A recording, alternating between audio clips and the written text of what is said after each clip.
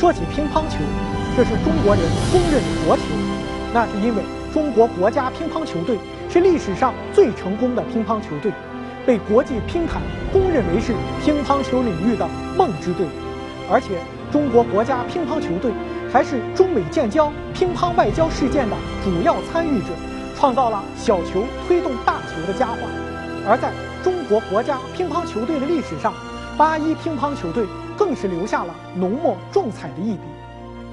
女队从佟麟、戴丽丽到孙静、曹真，男队从李振世、施之浩到范长茂，从王涛、刘国梁到王浩，各领时代风骚。那么今天的八一乒乓球队近况如何？又有哪些年轻运动员正在茁壮成长？下面就有请记者带领我们走进这支有着光荣历史的乒乓球队。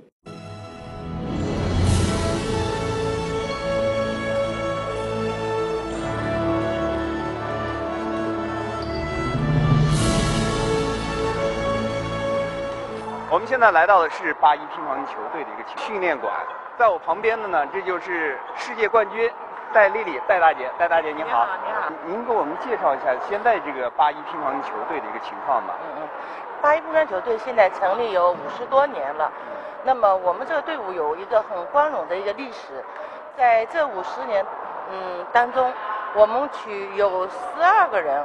获得将近一百多次的世界冠军，嗯，呃不呃不管在八一体工大队，包括在中国乒乓球界，也是一个很强的一个知名的一个队伍，所以呃我自己在这个集体这十二年回到重新返回到八一十二年，呃对目前这个队伍这个情况其实也是很自豪的。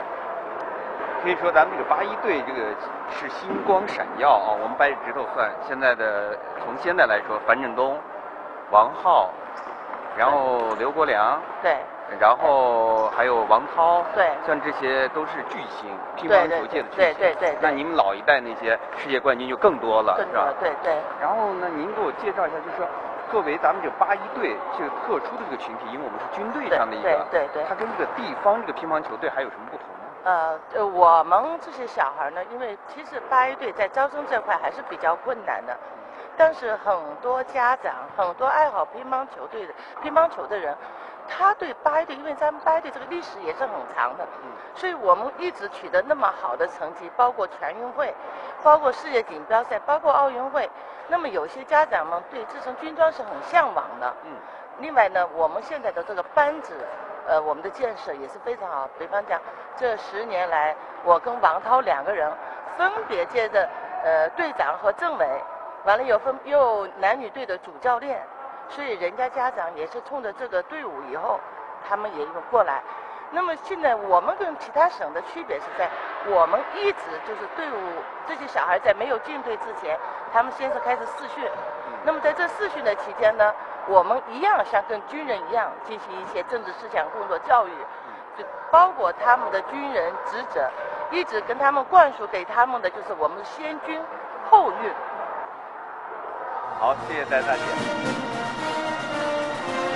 在八一乒乓球队训练馆，我们正好碰到了著名的乒乓球世界冠军王涛。此时他正在给小队员指导打球。你要突入去的球，你没有旋转，他受不了去。所以你就不能把它想那么转，你越摩擦球越转，它消的越转。长焦是这样的，如果你要突一声，它肯定比它再削过来就没有想那么转，懂了吧？能够得到世界冠军的亲自指导，这是许多运动员梦寐以求的事情。而八一乒乓球队的成绩之所以长盛不衰，和球员的成长环境以及人才的梯队建设自然是分不开的。像咱们这个八一队是有传统的，有您。有刘国梁、王浩，像这样的梯队建设这个方面，您给我们讲讲吧。他们有什么独到之处呢？梯队建设主要是在人才、在招生这方面。所以说，我们现在对选人才是非常重中之重的。像樊振东是个例了，樊振东四年就打到世界冠军了，就是那完全是天才。所以说，还是在选材上，因为你选材选的不好的话，你打十年都不一定打很难很难打出来。因为乒乓球这个水平太高了，特别在世界上又是呃。顶级的这种运动，就是成为国球，所以我觉得乒乓球难度非常大。所以说，我们梯队建设在我们工作中是重中之重。从王涛的言谈中，我们可以听出他对乒乓球运动的热爱。这位叱咤一时的世界冠军，丝毫没有什么乒坛巨星的架子。而这种不争名利的处事态度与对工作的执着追求结合在一起，正是八一体工大队教练员与运动员所具备的独特气质与精神。就像您说的，这个乒乓球作为国球，就它独特的魅力在什么地方？他从政治上讲，对吧？嗯，这个中美建交，靠对对靠小球转动大球，对吧？这种技术上的运动，这种它是全身的一种运动，嗯嗯练的人的大脑反应、思维、敏捷，嗯对吧嗯？还有心理，它是一个综合的运动。所以说，乒乓球的这个运动是应该来讲是老少皆宜的运动。所以我觉得乒乓球的运动应该算是比较一个高尚跟时尚的运动，我认为是这样的。好，谢谢王老师，没事谢谢王老师。